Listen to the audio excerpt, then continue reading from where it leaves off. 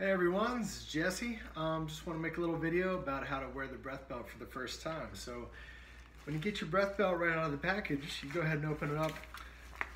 You want to find these sleeves in the back. So in the back, you'll, you know, you'll see some rigid paneling. There's a little sleeve in there. That's going to fit, um, put some compression in there for the top of your SI joints. So go ahead and put that, line that right around. So the way I like to do it, it's not rocket science. I just line the bottom up with either the top of my butt crack or the bottom with my pubic bone. So we, we can always pull it up, but we might as well start lower, right? And by lining it up there, you're, you're gonna cover the two or three inches on the top of your uh, hip bones, okay? So we're just gonna do the first layer, and if you'll notice, when you open your left hand, there's gonna be the pockets. Those pockets will go right here and right here. So I'm gonna kind of lean over like this.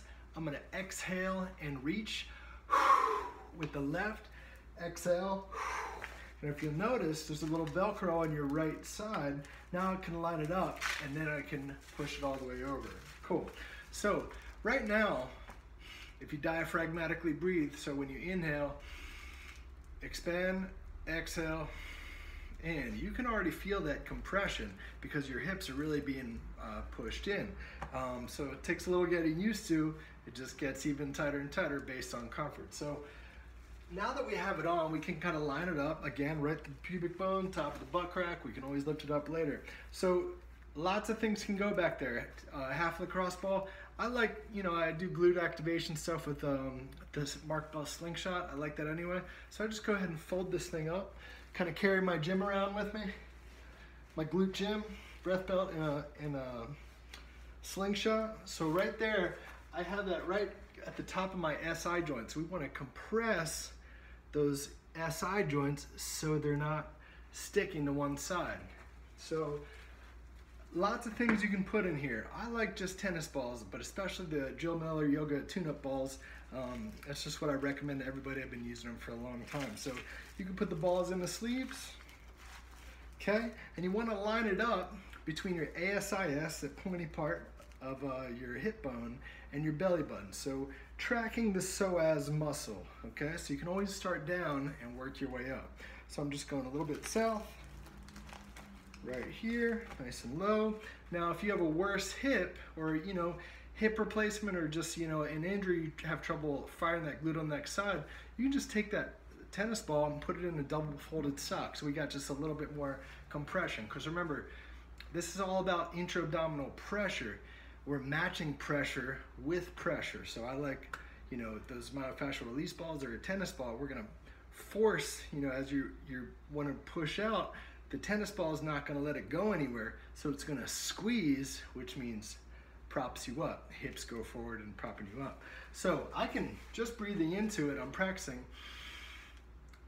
Exhale, let it sink deeper. Inhale, and already, even though the second layer's on, I notice my hips are scooped up. I'm a little bit more in extension, okay? So now I'm gonna take the second layer. I'm gonna lean over. I'm gonna exhale exhale, and you notice in your right hand, uh, the Velcro sticks right here, then you can place it. The next version will have a little Velcro piece for extra over here, but uh, it'll stick just fine. Just takes a couple uses. Ooh, and you can feel that compression already. So you know, if you're if you have back pain, you might want to start down on the ground, laying down with their head on a pillow, feet up in the air, 90 degrees, feet flat on the wall. But most people can just put this thing on, breathe already. Even if I'm chest breathing, you know, you're still going to create compression and length to get your glutes on. But the intent is for the breath to reinforce the glute firing pattern. Glutes, hamstrings, opposite QL. So when you walk, go get your morning coffee, you know, doing the dishes, whatever it might be. When you inhale, push it out, exhale, let it go deeper. Try that for, you know, a couple minutes, three in, three out, four in, four out, five in, five out. You might notice your body starts to flush, kind of activates the limb system, sometimes the digestion system, but you'll notice, especially when you're walking, even sitting at a desk, it's just you know, you just feel propped up. Uh, for exercise, of course, hip hinge, take, take a look at the Instagram stories, but put your hands together like this, press them together, exhale, do a reverse lunge, push those balls out on the way down. You'll notice your knee drops straight down and because your glutes are on. And if you inhale, push those balls out, push them out, push them out while you're holding your breath, all of a sudden my shoulder range of motion is better. Why is that? Because your psoas connects to your T12 in your rib cage. People don't understand. You find length down here, we're gonna find even more length and less restriction up here.